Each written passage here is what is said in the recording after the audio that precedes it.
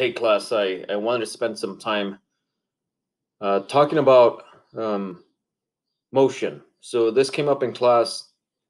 Um, obviously, all of you are developing your own uh, create task, your own project.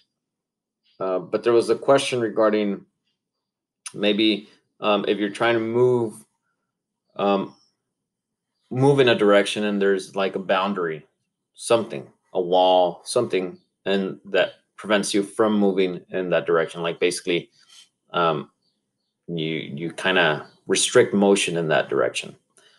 So um, again, this this was something that came up in class. Um, there's multiple ways to do that. My experience has been that if you try to draw a backdrop, like draw it, and then have the sprite interact with that backdrop, I, it is my experience in the past that sometimes that it gets glitchy. My students have problems with that. If you want to make boundaries and you want your sprite to not be able to cross those boundaries, I would suggest you resort to sprites. So make, build a sprite. Let me show you how we could potentially do that. So I'll come in here and I'll, I'll paint the sprite. Uh, suppose that I want to make a boundary here so that the, the spaceship does not go too far to the left or too far to the right. Then I could uh, use the rectangle or the line, the square or the line, either one. So I'll draw just one like that. Notice it. It shows up there. Maybe make it a little bigger. There we go. Okay, let's just say that's good. No, obviously, um, maybe you don't want it to be filled in. So you can go here to fill and just click on this, the line, and it's not filled now. Now it is black, so that's why I don't see it right now. Uh, I'll change the color here to something that is very visible. And maybe I can increase the thickness of that boundary. So there you go. Um, I can then maybe move it a little. Oh, that's not what I wanted to do. Get the arrow, move it downward, just a little more. Something like that, okay? Let's, uh, obviously this is very generic. But let's suppose that you want um, your spaceship to not be able to move. So right now, if I if I move the spaceship, it can go past that boundary. It has no problem. As a matter of fact, it seems like my boundary is moving too because I'm in here. Uh, so I'll stop. Yeah, we can call this maybe something like a wall. The sprite, instead of sprite, we can call it wall. And so now, um, again, if I kind of press start here, and maybe I don't want it to move past that boundary. It keeps moving because I'm still in, in the little paint. There we go. Let's position it there. Uh, let me get out of here. There we go. So how do I do it so that it doesn't you go past the screen uh, boundary? Well, for the spaceship, I go to the algorithm that takes care of motion. Notice that's this algorithm um, where the right arrow lets me change the x by positive 8. The left arrow changes the x by negative 8.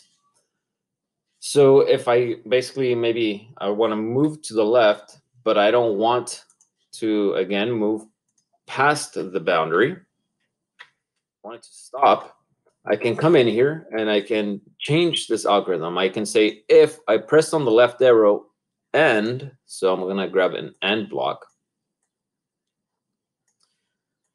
If I press on the left arrow and I'm not touching the wall sprite, so I'm going to go to sensing. Actually, I'm going to grab the not. Not touching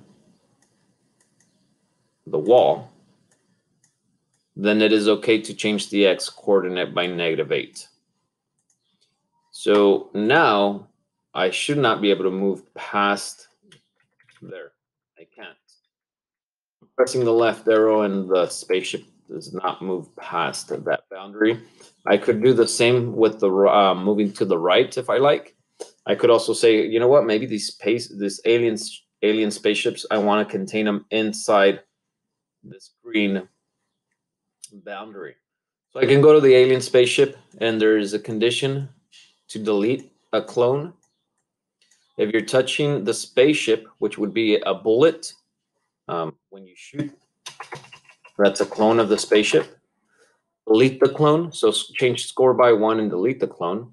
We could add something like if you're touching the wall, delete the clone as well. So now that would run up your score, but we can give it a try. We can go in here to operators. We can do if touching spaceship or um, you're touching the wall. So I'll put here wall. Oh, that's not the one I want. Notice any alien ship that touches the wall, which is really just this little, this green line, deletes itself. The score is being run up. That's because the, the, the change score by one is inside of this if condition as well. If I didn't want that, I would put that somewhere else. I could actually go, um, and this is the convenience of making the convenience of making this a global variable that lives across all sprites is that I can add the score to the spaceship sprite where I say if I touch an alien ship, wait a tenth of a second and delete the clone where the clone is the bullet. I can also change the score by uh, one. Go to variables, change score by one. So now my score lives here. Now the, the act of the spaceship touching the wall does not run up the score where before it did. So again, a way to restrict motion. I guess mainly a way to create a boundary. Notice that you could have you can you can draw you can make a sprite and draw it however you like. Um, you could uh, maybe erase this. Just click delete. I want to stop this. But you could draw like something like this. Let me see. Usually when, oh, there we go. If you if you drag the line and you click the shift key, it it makes it horizontal for you, which is perfect. Oh, I let go. So hold shift, uh, shift, it does, it, it kind of restrains it to be horizontal. There you go. And then you can click here and then go up and again, hit the shift key and it now makes it vertical. Horizontal again. Notice you can create a very, uh, a, a very nice background here if you like. This is a 45 degree angle.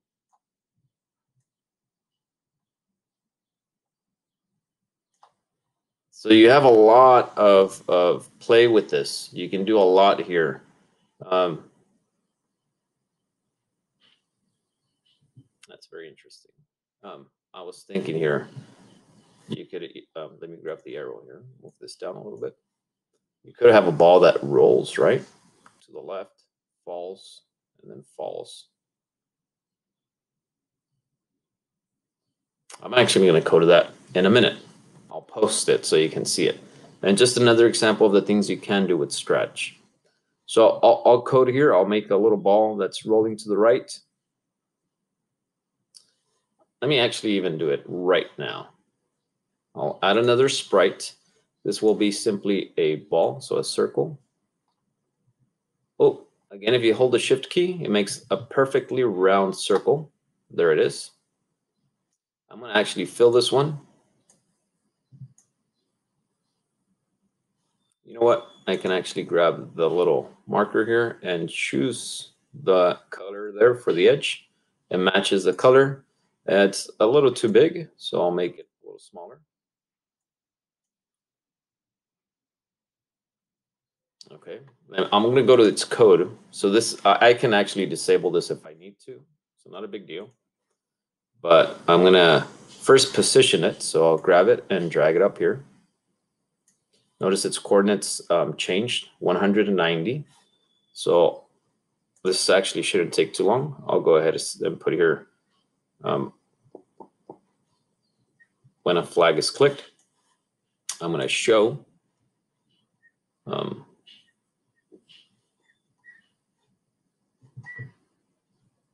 That's under looks, okay. Show the ball. Then I'm going to start an algorithm that forever makes it go to the left. Forever. Motion. I can change X by to the left, it would be negative. I'll put negative two. And then I'm going to do an if statement. If um, I'm not touching, so I'll come to sensing and drag the, I'm not touching wall. Operators, not. Then I'm going to change y by a negative value. I don't know if this is, um, I'm starting to think that's going to be a little glitchy. It's probably going to get stuck, but it's worth a try. Change y by negative 2. Try. Oh, this didn't move there. Stop. Oh, the uh, 200, I didn't put the go to. Go to 200, 164, that looks good.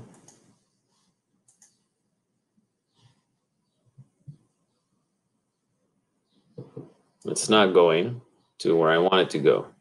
Oh, I put set instead of change. Change X.